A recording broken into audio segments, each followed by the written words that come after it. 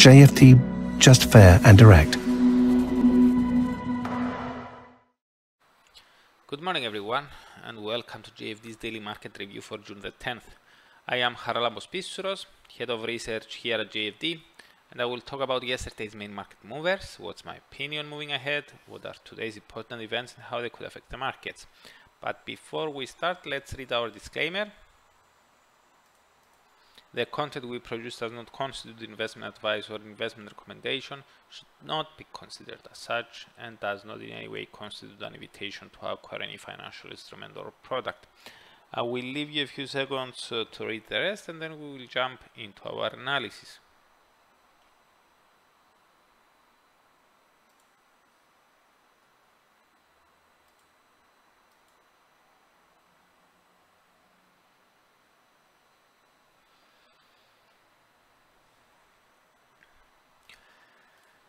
Okay, the US dollar traded higher against all but, one, all but one of the other major currencies on Thursday during the Asian session Friday. It gained the most versus CAD, AUD and the Euro, while it lost ground only versus the Japanese yen.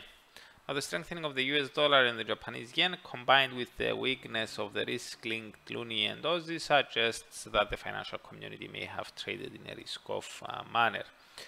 Turning our gaze to the equity world, we see that European shares slipped ahead of uh, the ECB decision, uh, with investors uh, avoiding adding uh, to their exposures due to uh, high speculation that the bank will signal a stronger than previously suggested um, rate path. Indeed, uh, the bank kept all three of its um, of its main interest rates unchanged as was widely expected and said that it would hike rates next month, the first liftoff since 2011, followed by a perhaps bigger increase in September. This added credence to the view of those seeing a 75 basis points increase by September as it could mean a quarter point hike in July and doubling that in uh, September. And that's why we saw the euro initially rallying. But why was it found among the three main losers this morning? The currency came under strong selling interest after ECB President uh, Christine Lagarde referred to the problem of fragmentation, which refers to the divergence between the economic state and especially borrowing costs uh, of uh, different uh, European countries.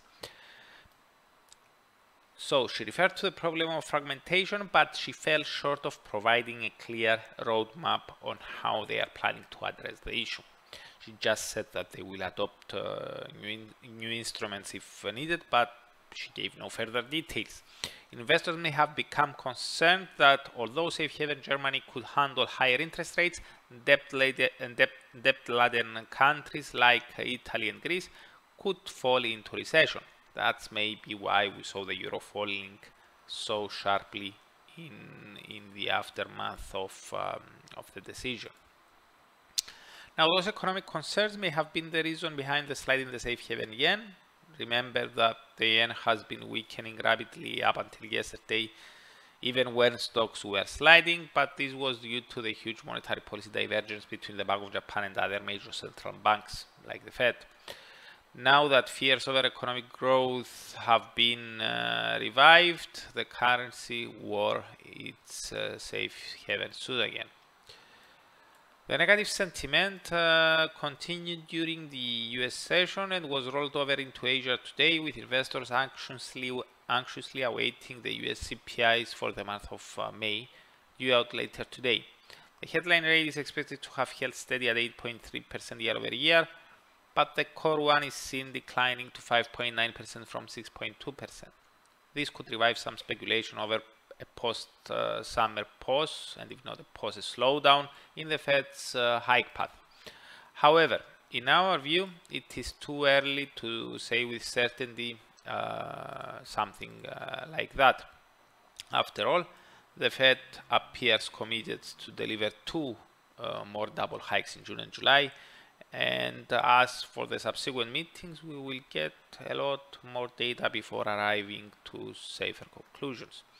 Even officials themselves noted that uh, their prior gathering according to the minutes, that it is too early to be confident that inflation has already peaked.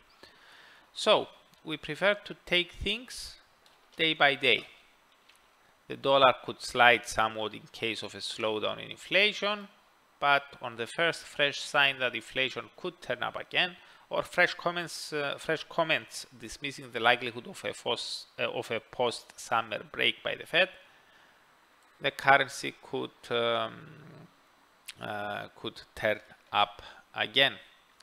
Now, as uh, for the rest of today's events, another top uh, tier data on the economic agenda today is Canada's employment report for May. The unemployment rate is forecast to have held steady at 5.2%, while the net change in employment is forecast to show that the economy has added 24,000 jobs, more than the 15.3 thousand added in April. At last week's gathering, the Bank of Canada hiked by 50 basis points, its second double hike in a row, taking its benchmark rate to 1.5%. That said, this was largely anticipated and fully priced in. In our view, the most important takeaway from this gathering was that the bank reiterated its willingness to act more forcefully if needed.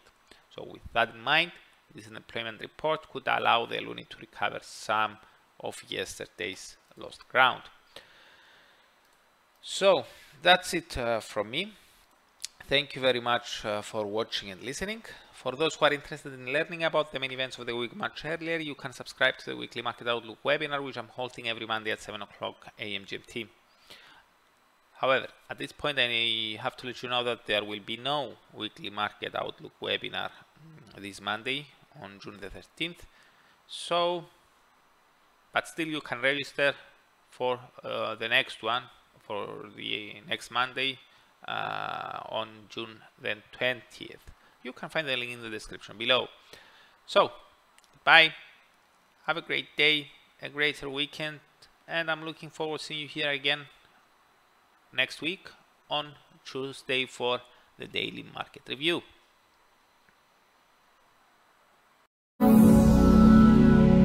JFD, just fair and direct.